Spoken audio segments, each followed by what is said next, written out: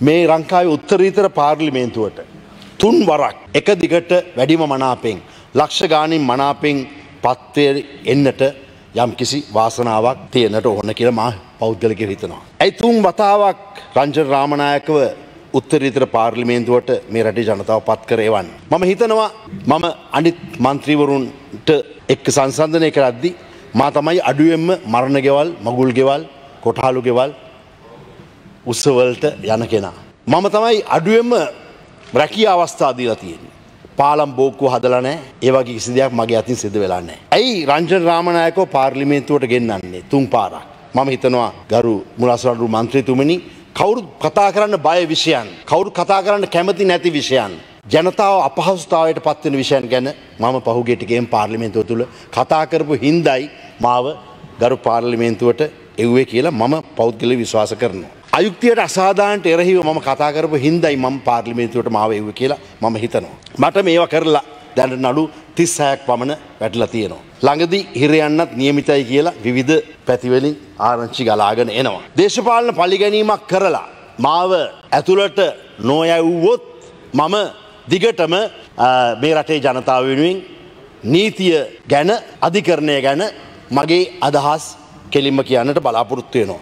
පහුගේ ටිකේ හිටපු අගවිනිසුරුවරෙක් කිව්වා ගරු මුලසනාඩුට මන්ත්‍රීතුමනි මම හිරගෙදර යවන්න ඕන කෙනාව රජගෙදර ඇව්වා මට සමාවෙන්න මට සමාවෙන්න කළ තුම් පාරක් කිව්වා හිටපු අගවිනිසුරු සරත්නන්ද සිල්ල මහත්තයා. මම නං එහෙම කියන්න බලාපොරොත්තු වෙන්නේ නෑ. මම මහජන නියෝජිතයෙක් හැටියට මම හිරගෙදර යන්ඩ ඕන රජගෙදර අයව නැවත නැවතත් හිරගෙදර යවන්නට මගේ කාලය ඉස්සරහටත් හඬපටි තුළින් හැමදේම තුළින් නීතිකරුකෝ හෝ සදාචාරත්ත විරෝධිවල හෝ විරෝධි වෙලා හෝ මම ඉෂ්ට කරනව කියලා මාව පාර්ලිමෙන්තුවේ වූ ජනතාවට මම මේ අවස්සාය පොරොන්දු වෙනවා.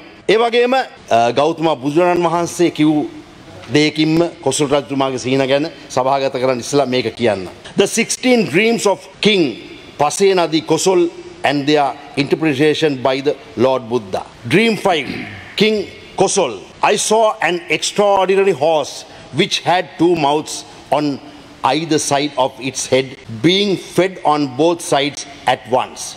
It was eating greedily. The Lord Buddha says, Dear King, when the world is nearing its end, the rules, the rulers that comes to power are so irresponsible.